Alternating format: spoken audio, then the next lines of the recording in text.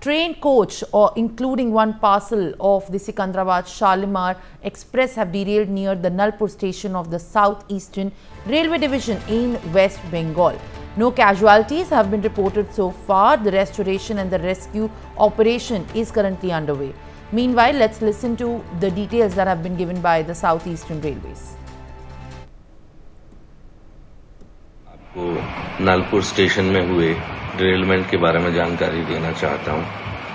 आज सुबह पाँच बजकर इकतीस मिनट पर Secunderabad Shalimar weekly express train Nalpur station पे मिडिल लाइन से डाउन लाइन में जाते हुए डिरेल हो गई इसमें एक पार्सल वैन और आगे में दो पैसेंजर कोचेज डिरेल हुए हैं किसी तरह की मेजर इंजरी और कैजुअलिटी रिपोर्ट नहीं हुई है।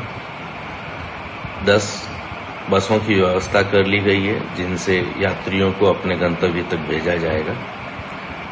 एआरटी और एआरएमई साइट पर पहुँच चुकी है। All right, my colleague Renik Datta joins me live on the broadcast.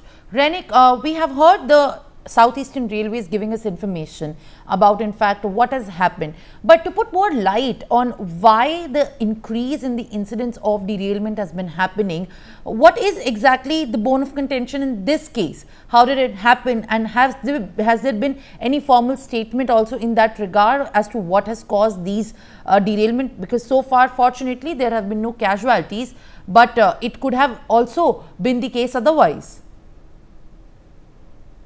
एकदम देखिए, पहले तो ये पूरा घटना बता दूँ two two eight five zero Secunderabad Shalimar जो एक्सप्रेस वो आज खड़गपुर स्टेशन छोड़ने के बाद ही, जब खड़गपुर सेक्शन का नौलपुर स्टेशन में पहुँचे थे, उस नौलपुर स्टेशन में पहुँचने के टाइम पर ही ये डिरेलमेंट हुआ है और डिरेलमेंट की वजह से जो इंजन है, वो इंजन पूरा पटरी से हटकर दूसरा पटरी में चला गया था और इसी के इफ़ेक्ट पर एक पैसे एक पर्सनल वैन और उसके साथ साथ दो पैसेंजर वैन को इम्पेक्ट हुआ है और ये पूरा घटना घटना में। अभी तक कोई मेजर इंजुरीज नहीं है और कोई कैजुअलिटीज नहीं है। मगर सबसे महत्वपूर्ण जो चीज़ है कि ये पूरा घटना किस तरीके से घटा, ये जानने का कोशिश ही अभी साउथ ईस्टर्न रेलवे की तरफ़ से किया जा रहा है। साउथ ईस्टर्न रेलवे की तरफ़ से रिलीफ ट्रेन खड़गपुर स्टेशन से और छात्रागाजी स्टेशन दोनों स्टेशन से भेजा गया है। पहले तो पैसेंजर्स को रेस्क्यू करने का जो काम वो अभी किया जा रहा है रेल अथॉरिटी की तरफ़ से। साउथ ईस्टर्न रेलवे की तरफ़ से जो दो इंजीनियर एडीएम और एआरएम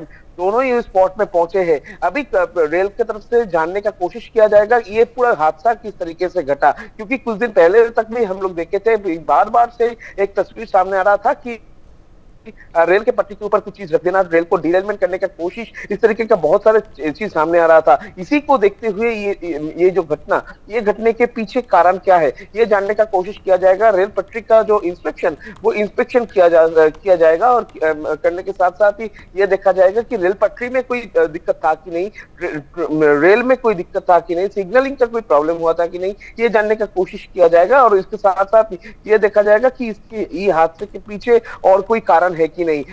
रेल की तरफ़ से एक स्कूटनी कमेटी तैयार किया गया है। उस ये कमेटी की तरफ़ से ये स्पॉट को विज़िट किया जाएगा और ये पूरा घटना किस तरीके से हुआ, ये जानने का कोशिश ये कमेटी की तरफ़ से किया जाएगा, जिसके नेतृत्व में एडीएम और एआरएम दोनों मौजूद रहेंगे। ऐसा साउथ ईस्टर्न रेलवे की तरफ़ से खबर मिल रहा है। और ये पूरा घटना के साथ साथ ही अभी साउथ ईस्टर्न रेलवे की तरफ़ से कहा जा रहा है कि दस बासेस छात्रागाजी और खड़गपुर दोनों से भेजा गया है। अभी फ़िलहाल जो पैसेंजर्स उधर अटके हुए हैं उनको उनका जो जिस जगह में उनको जाना था उस जगह में पहुँचने का काम अभी साउथ ईस्टर्न रेलवे की तरफ़ से किया जा रहा है। और उसके बाद ही जो तीन बॉगी जो है वो डिवेलपमेंट हुआ था।